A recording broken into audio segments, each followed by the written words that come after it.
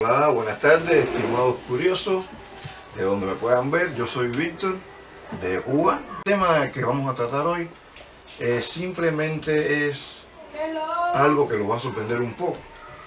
Miren para acá y ustedes me dirán, bueno, ¿qué es cosa, esta cosa que tiene este hombre acá al lado? ¿Todavía se estará yendo a la escuela al campo en Cuba? No, no, esto es una curiosidad, aunque no lo crean, esto que tienen aquí es un instrumento musical llamado, ay, llamado marímbola, marímbola. Este instrumento, aunque muy viejo, muy viejo porque vino con la colonización española. Les cuento, recuerden que España trajo a, la, a las Américas a los africanos. Los africanos trajeron sus costumbres, las costumbres, y entre las costumbres de los africanos, entre las costumbres africanos trajeron un instrumento llamado sansa, la pequeña cajita con un cajoncito y muchos flejes.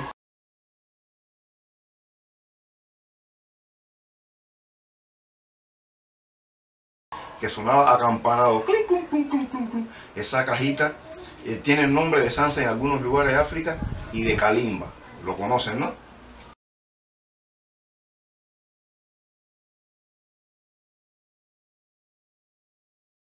Esa cajita en aquel tiempo, eh, llamada Kalimba, dejó de funcionar o se medio que dejó su funcionamiento porque los esclavos al estar hacinados perdió cierta importancia. El desarrollo y el avance de la, de la música en años posteriores, eh, sobre todo los músicos, los músicos de poco poder adquisitivo, de poco mm, economía, se dieron cuenta que a medida que se fabricaba la salsa más grande, eh, ganaba en sonido, ganaba en sonido y en profundidad.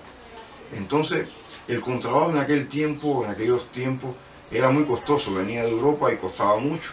Y empezaron los músicos pobres a hacer, a hacer crecer aquella salsa de chiquitica, chiquitica, que de este tamañito fue creciendo y se puso este tamaño. Tanto que se le llegó a llamar el bajo de los pobres.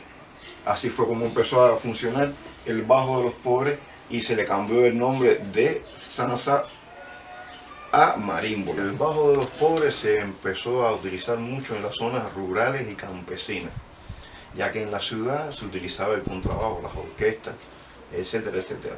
Actualmente se utiliza en la música tradicional cubana, en la música tradicional cubana y casi moderna. Esa marímbola que de principio se fabricaba de tres o cuatro flejes, llegó a tener hasta más de 12. Actualmente hay marímbolas que funcionan con más de 12, haciendo la misma función que el contrabajo. Cada marimbulero tiene su forma de afinar y su forma de tocar. Eso depende del gusto de cada cual. Yo les voy a dar más o menos, no todo el secreto, un pedacito del mío. No voy a hacer que después me tumbe, caballero. Esta demostración es muy sencilla, estimados curiosos, porque la marímbola es un instrumento que solo es un poco aburrido, pero cuando cae en una agrupación hace función de bajo. Ustedes imaginan un solo marímbola esto que no tiene ni... esta es la demostración de cómo suena ella sola. O sea, cinco o seis personas ayuda mucho más, pero es algo, algo tradicional que ustedes deben conocer y vamos a ver cómo sale esto.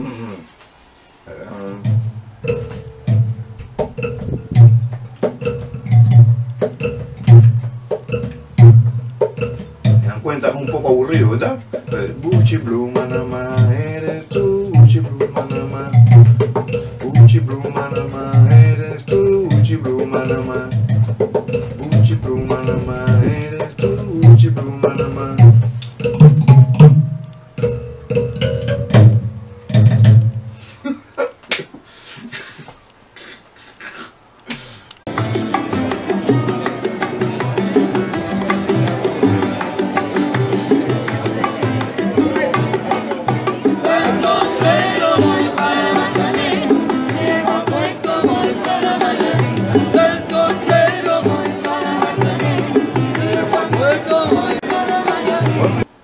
Curioso, eso es todo por hoy. Si les gustó lo que hice, me aplauden. Y si no me les gustó, me aplauden también. Así que, y si les gustó, mejor me, me solicitan. A ver qué pasa con esto. Hasta la próxima.